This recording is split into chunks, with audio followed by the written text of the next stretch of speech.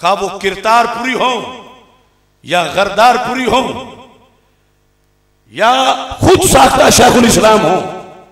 कल उन्होंने जलसा करना है मीनार पाकिस्तान पर। मेरी इस बात का जवाब दे। मैं मंजर कल का देख रहा हूँ। गैब नहीं जानता। वहाँ हिंदू भी होंगे, वहाँ सिख भी होंगे, वहाँ क्रिश्चियन भी होंगे। और वहाँ कुछ नाम निहाद सुन्नी भी होंगे जो ताज़ा ताज़ा राफजी बने हैं। वो सारे इकट्ठे होंगे। और नारा लगेगा कि इतिहाद हो गया है सुन्नियत का और इंसानियत का। तो उन सबसे मैं कह रहा हूँ, हवाला मैं बता रहा हूँ, इसका जवाब लेके मीनारे पाकिस्तान पे आना। फतावा शामी का जवाब लेके आना। मुस्लिम शरीफ का जवाब लेके आना। और कोई अपनी कामयाबी ये करार दे रहा है कि हमने मीलाद मनाया तो हमारे स्टेज पर तो सिख भी आके बैठे, हिंदू भी बैठे।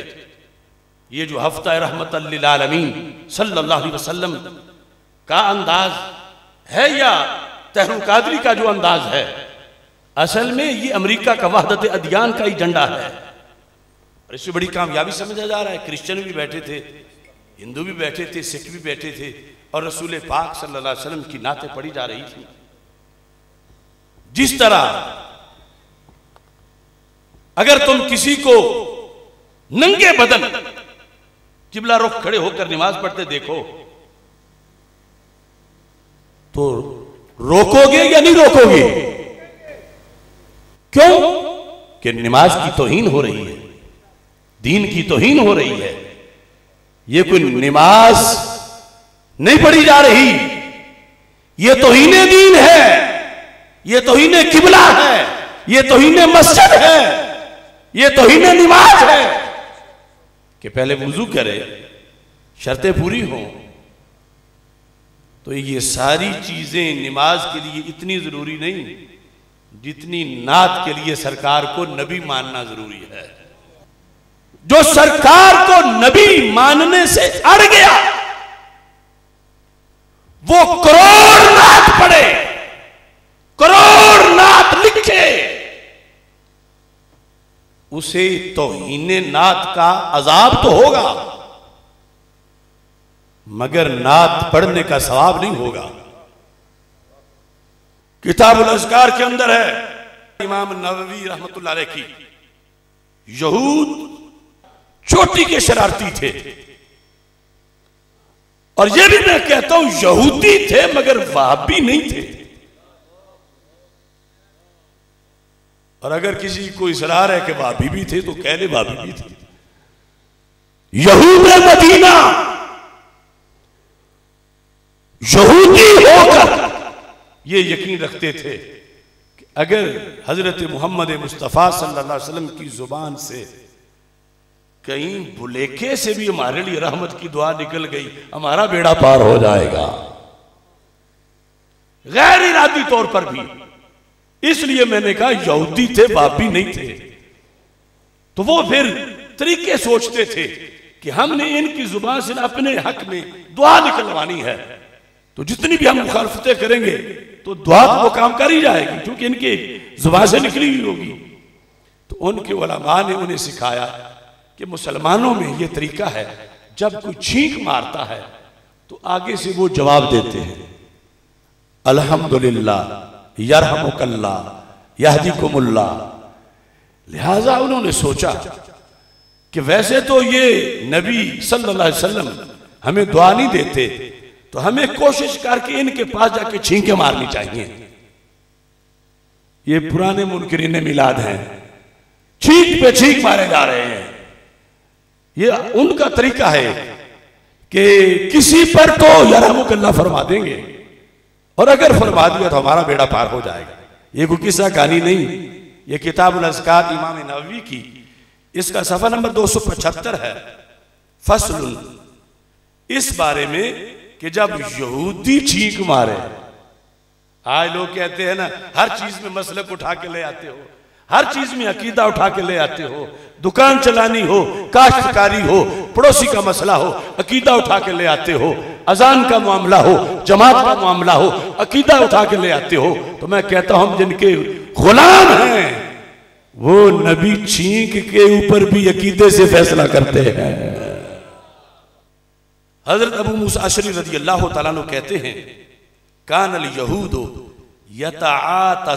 इंद रसूलिल्लाह। सल्लल्लाहु अलैहि वसल्लम। यहूदी छींके मारते थे। आके रसूल पाक सल्लल्लाहु अलैहि वसल्लम के पास शरारती तो बड़े थे, यहूदी थे मगर वहाबी नहीं थे। क्यों? आगे लिखा है, यरजूना यकूल यरहमुकल्ला यरजूना, ये उम्मीद रखते हुए कि कहीं आपकी ज़ुबान से ये लफ्ज अल्लाह तुम पे रहम करे। इस उम्मीद पर, यानी ये जो कौम है ना कि कोई दफ़ा नहीं दे सकते, कोई कुछ कर नहीं सकते, कुछ कुछ दे नहीं सकते, इनको मैं शर्म दिलाने के लिए कह रहा हूँ कि वो मदीना के छींके मारने वाले यहूदी तो थे भी नहीं थे। अगर भी होते तो फिर कहते कि फ़ायदा तो होना कोई नहीं। ये तो खुद महीना महीना दुआ मांग मांग के थक जाते हैं, होता कुछ नहीं। छींक के जवाब में कुछ कहेंगे तो क्या होगा? आज भी इन तोहिद प्रस्तों की तकरीरें ऐसी तुम्हें मिलेंगी। मगर मैं फिर कह रहा हूँ, लाइव, वो यहूदी थे, मगर वहाँ भी वहाँ भी अगर ये इसरार करें तो मैं ठीक है, यहूदी भी थे, वहाबी भी थी। कुल हम वाहिद अल यहूदिया वल वहाबिया विजहान दोनों एक ही खोटे सिक्के के दो रुख हैं अगर कहलवाना है तो कहलवा लो मगर मैं तो कहता हूँ वो यहूदी थे वहाबी नहीं थे क्यों उनको उम्मीद थी अगर अल्लाह के रसूल ने यरहमुकुमुल्लाह कह दिया तो बेड़ा पार हो जाएगा अब आगे मसला है, ये मुश्तरका मेहमान बिठाने वालों का। आगे है ननकाने जाके ईमान लुटाने वालों का। उस पित्ते के छोटे पित्ते ने जाकर जो लुटाया वहाँ पर ईमान। और कुछ किरदार पर जाके लुटाते हैं। और आयते पढ़ते हैं, हदीसे। उन्हें पता नहीं कि दीन का मज़ाक क्या है। मेरे आका सल्लल्लाहु अलैहि वसल्लम खाली नहीं लौटाते थे उनको। मगर यार मुकल्ला भी नहीं फरमाते थे। क्या फरमाते थे? यह दी कुमुल्ला कि पहले हिदायत मिलेगी तो रहमत मिलेगी। तुम इस लायक नहीं हो कि मैं तुम्हें यरहमो कुमुल्ला कहूँ। चूँकि तुम मेरे कलमे के मुनकर हो और मैं रहमत हूँ सारे जहानों के लिए मगर मैं गद्दारों को कैसे रहमत दूँ? हाँ हिस्सा इस तरह दूँगा। खाली नहीं लौटाता। सरकार फरमाते यादी कुमुल्ला खुदा तुम्हें हिदायत दे। वायुसली हो अल्लाह तुम्हें तुम्हारे करतूत सही करे। तुम मेरा कलमा पढ़ लो। आगोश रहमत में आ जाओ।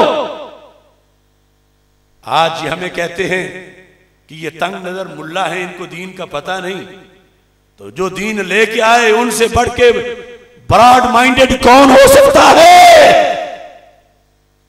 मेरे नबी सलाम ने यहूद की छींक के जवाब में भी दुआए रहमत नहीं की, दुआए हिदायत की है। तुम बुलाओ उनको, कहीं बिठाओ उनको और कहो, सारे तुम जन्मी हो। अगर तुमने जन्नती बनना है तो पढ़ो, ला इलाहा इल्लल्लाह मुहम्मद ये है सुन्नत रसूल। ये है दीन का तरीका। ये उनको बुला के कुफर पे मजीद पक्का करते हैं कि तुम मुनकर नबूवत मुस्तफ़ा बन के भी इज़्ज़त वाले हो। तो जो ऐसा करे तो उसका अपना ईमान नहीं रहता, औरों को क्या देगा? हदीस हसन सही है।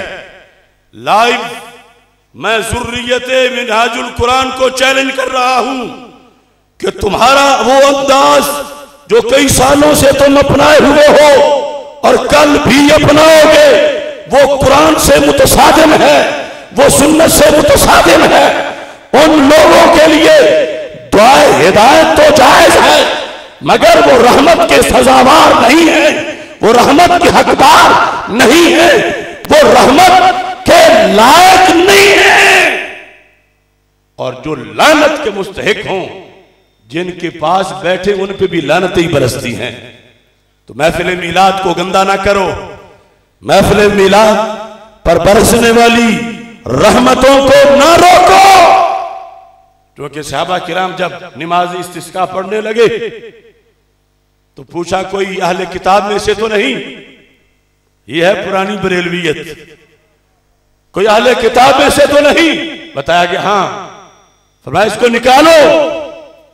और फुकहा ने लिखा क्या मत तक, जब भी इस्तिस्का बारिश की तो मांगनी हो, मजमा सिर्फ़ मुसलमानों का हो, उसमें हिंदू ना हो, उसमें सिख ना हो, उसमें नसरानी ना हो, पारसी ना हो मजूसी ना हो, यहूदी ना हो। क्यों? कहा कि ये लोग जहाँ हो ना, लानत टूट के बरसती है। तो तुम रहमत के लिए इकट्ठे हो रहे हो। तो ये नमूने क्यों आगे पेश कर रहे हो?